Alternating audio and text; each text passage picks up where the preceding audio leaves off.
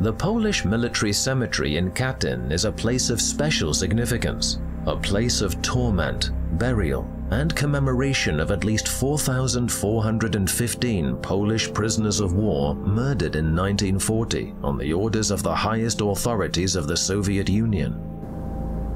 The entrance to the cemetery grounds is marked out by two pillars, each bearing images of the Polish military eagle this is a stylized version of the official crest of the Polish state, a symbolic emblem of the Polish soldier. The Polish military cemetery in the Katyn forest was opened during a ceremony held on the 28th of July 2000, thus not until 60 years following the atrocity itself. Indeed, the opening of the cemetery served as a turning point in the history of this place, one long concealed and enshrouded in the shadows of secrecy.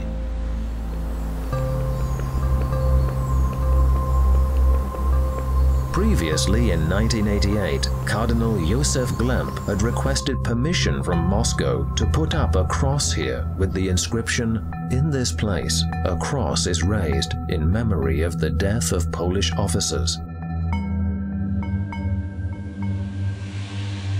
Having been blessed and transported from Poland, it stood behind a monument with an inscription falsely stating that the Katyn massacre had been committed by the Germans.